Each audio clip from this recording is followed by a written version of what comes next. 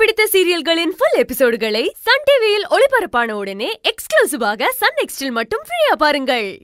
Constable இவனுக்கு எடுத்துட்டு போய் ஜீப்ல எடுத்துங்க வாங்கடா. ராஸ்கல்ஸ் ஏய், என்னடி இது? நம்ம வேலுவா இப்படி ஒரு காரியத்தை செஞ்சிருப்பான் எனக்கே ஒண்ணுமே புரியலம்மா. ஏன் இப்படி சொல்லிட்டு போறானுங்க? பாத்தீங்களாங்க? உங்க தம்பியும் தம்பி பொண்டாட்டியும் மாமனாரும் சேர்ந்து செஞ்ச காரியத்தை பூஜா ரூம்னு நினைச்சு நம்ம ரூம்குள்ள வந்து எட்டி பாத்திருக்கானுங்க நம்ம மட்டும் கொஞ்சம் உஷாரா இல்லாம இருந்திருந்தோம். அவங்க நினைச்சதெல்லாம் நடத்தி முடிச்சிருப்பாங்க.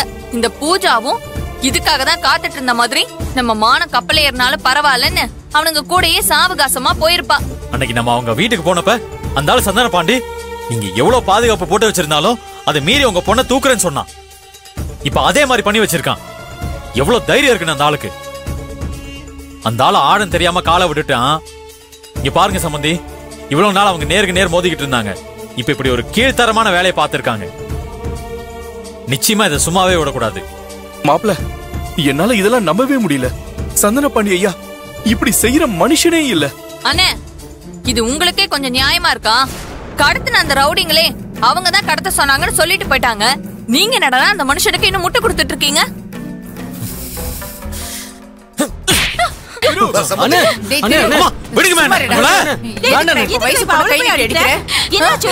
இப்படி ஒரு காரியத்தை இவ என்னப்பா பண்ணதுக்கு தெரியுது? கூப்பிட்டு வச்சு கொஞ்சுவாங்களா இரு பொம்பளை பிள்ளைய கை நீட்டி அடிக்கிறிய. இதெல்லாம் தப்பு இல்லையாப்பா? ஆமா திரு. ஏதோ நடந்துருச்சு விடு. ஏதோ மூளை கெட்டு போய் பண்ணி தொலைச்சிட்டா. இவ்வளவு எதுவும் பண்ணிடாதடா.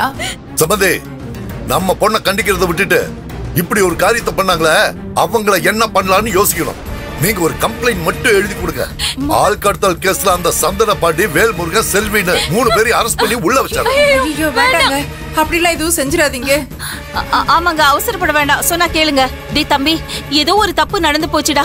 அது முதல்ல என்ன ஏதுன்னு விசாரிப்போம். நம்ம தம்பி வேலுக்கிட்ட விசாரிப்போம். ஆ?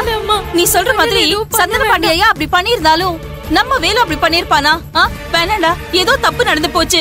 குழப்பத்துல ஏதோ முடிவு எடுக்காத கொஞ்சம் பொறுமையா இரு. ஆமா என்னக்கா பொறுமையா இருக்கணும்? இப்படி பொறுமையா இருந்ததா? இன்னைக்கு நம்ம தலைக்கு மேல ஏறி நின்னு வெள்ளாற அளவுக்கு வந்துட்டாங்க.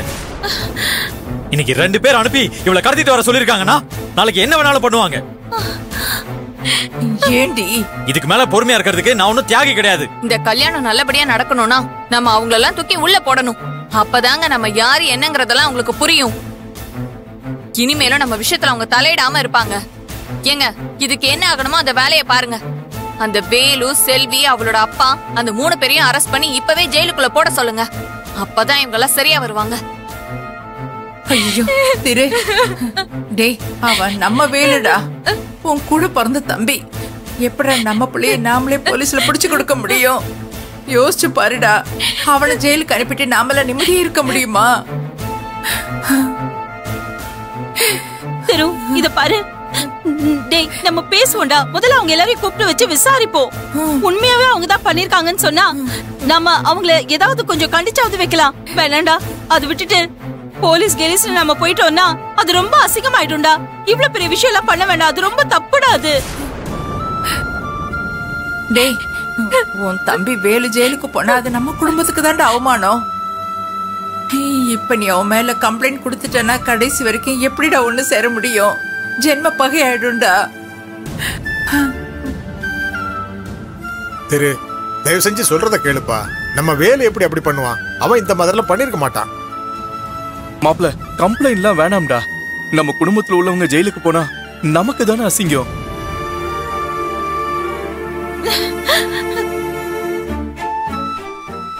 நீங்க சொல்றதும் சரிதான். சம்மந்தி நீங்க வேலு மேல ஆக்ஷன் எடுக்க வேண்டாம். என்ன சம்பந்தி இது? என்ன பேசுறீங்க?